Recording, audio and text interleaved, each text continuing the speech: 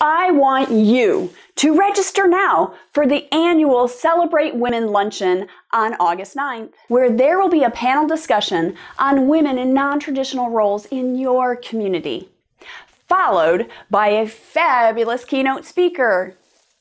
Wait, that's me. I'm Elizabeth McCormick, former U.S. Army Black Hawk pilot, and I'll be teaching you how to fly. Yes, you'll really learn how to fly a helicopter while I share with you the high performance lessons I learned while flying in flight school, well, and some missions. Tickets are on sale right now. Plan to come not only for you, but I want buy your best friend a ticket too. Don't miss out because these tickets will go fast.